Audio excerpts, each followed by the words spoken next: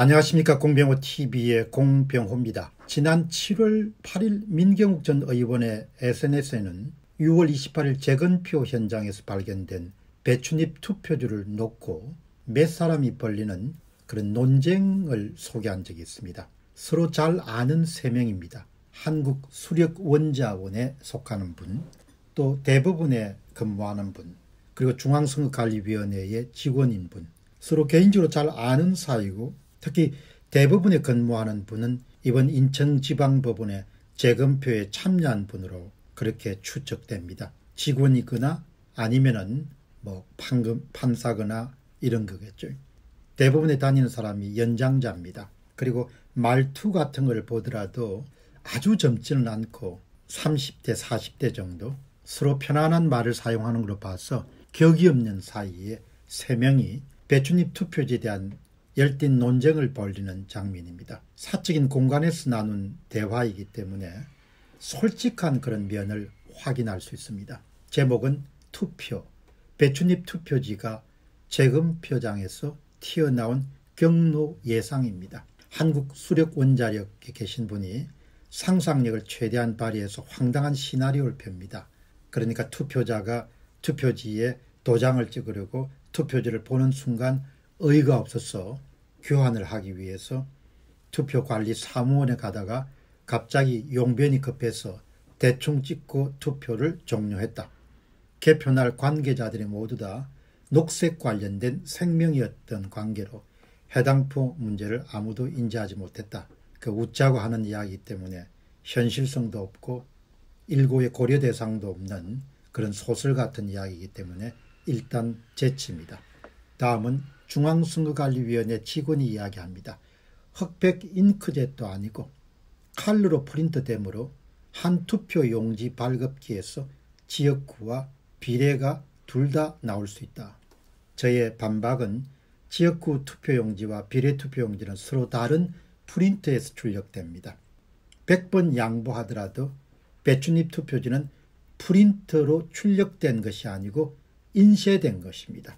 그리고 프린트로 출력해야 되는 투표용지를 인쇄해서 사용한 것 때문에 중앙선거관리위원회 관계자들은 불법 범법 활동으로부터 도망갈 수 없는 그런 덫에 완전히 빠지고 말았습니다.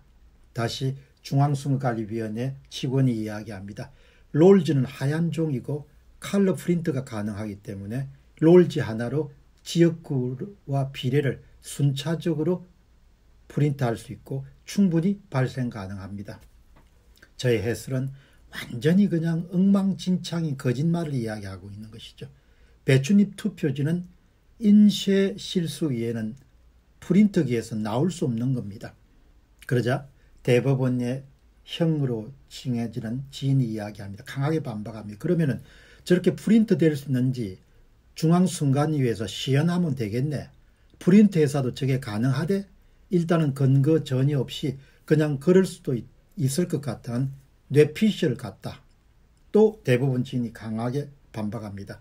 이렇게 쏠린 투표지도 가능해? 그러니까 비스듬하게 초록색 그런 비례대표지가 찍힌 걸 이야기합니다.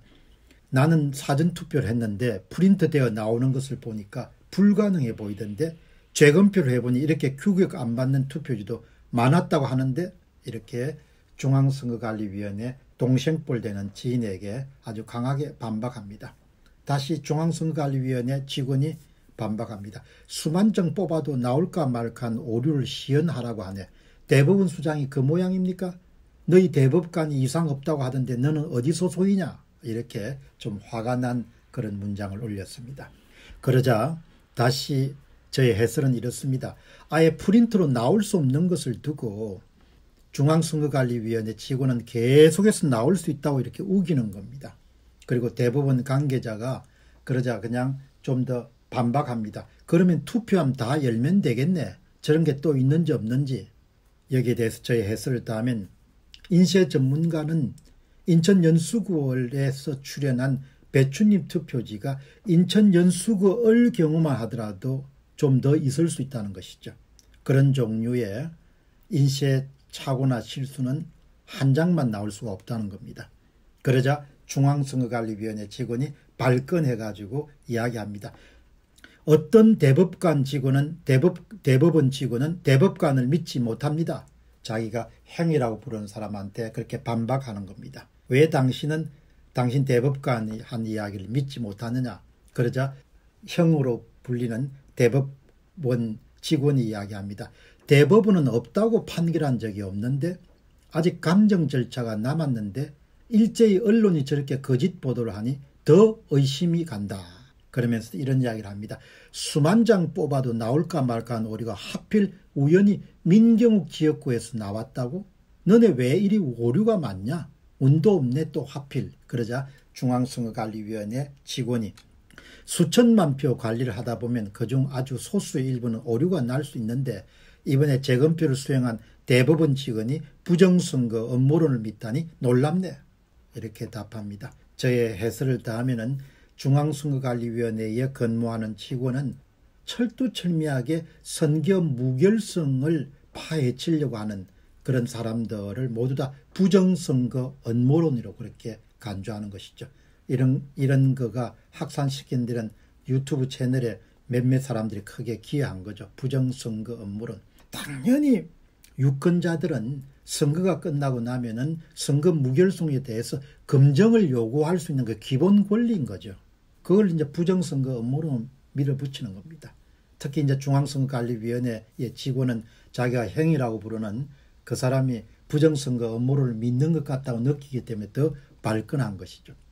다시 중앙선거관리위원회 직원이 이야기합니다. 1년 2개월 동안 재검표 절차를 수행 안 한 것은 너희 대법원 아니냐?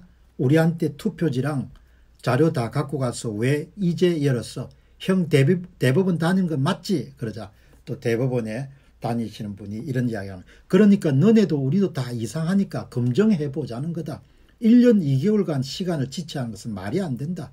법에 판결 자체를 6개월 이내에 하라고 명시되어 있다. 그리고 오류 타령하는데 저런 오류가 있으면 안 되고 당연히 증명 가능해야 되고 오류가 있는 것은 잘못된 것이다. 그에 대해서 검증을 요청하는 것은 당연하고 언론으로 몰면 안 된다. 여기까지 이야기를 들어보면 중앙선거관리위원회 지원이 형이라고 이야기하는 대법원 관계자는 진행인지 아닌지를 모르겠지만 대법원에 파견된 직원일 수도 있지만 법을 잘 아는 분 같다. 그러니까 아마 판, 판사가 아니겠느냐 그렇게 생각하는 거죠. 그날 이제 부장 판사들이 대, 여섯 명 정도 직접 참가해가지고 일을 도왔다고 하니까요. 중앙선거관리위원회 소속의 비교적 젊은 직원들조차 이 정도의 생각 그러니까 선거에는 문제가 없었고 선거에 문제가 있다고 이렇게 자꾸 주장하는 사람들은 음모론자다 이렇게 생각을 굳게 갖고 있는 것 같습니다.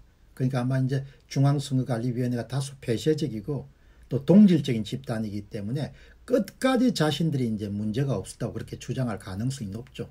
일종의 쇠뇌가 되거나 또 이데올로기화 되어 있을 가능성이 높은 거죠.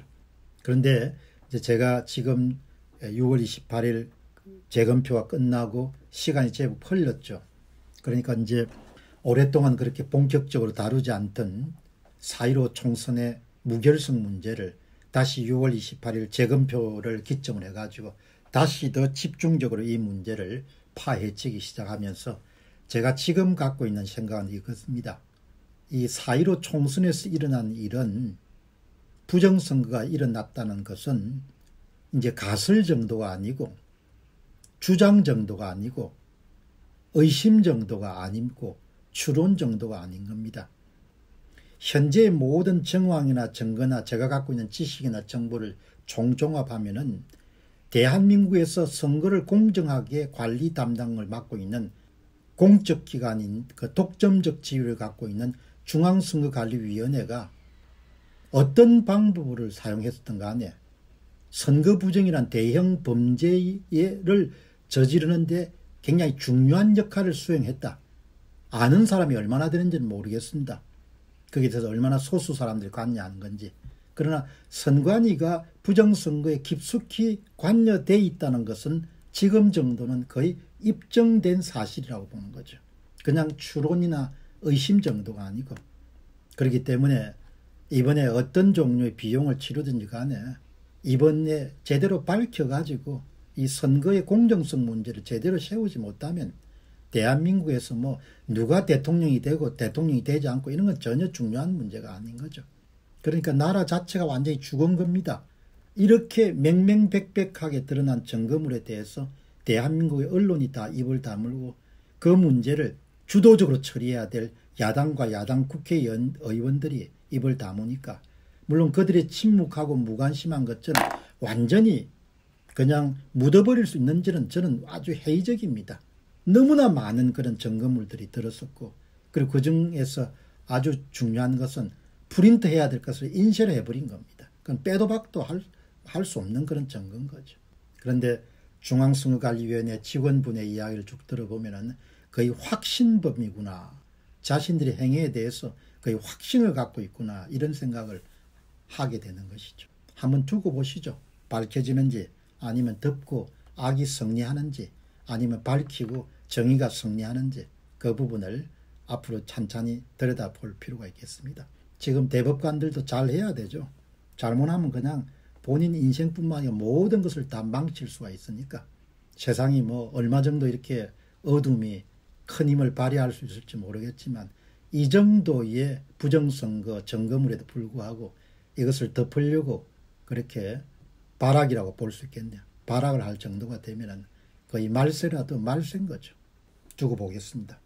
여러분들도 남의 문제가 아니고 자기 문제로 생각하시고 관심을 갖고 어떻든 공정한 선거가 이 땅에서 이루어질 수 있도록 그게 무너지게 되면은 체제건 정책이건 제도건 삶이건 다 영향을 받게 됩니다. 권력을 훔친 사람들이 뭘 못하겠습니까? 권력을 훔쳐가지고 악법들을 만들어서 국민을 옥죄면 어떻게 할 겁니까? 지금 이미 그런 일이 일어나고 있지 않습니까?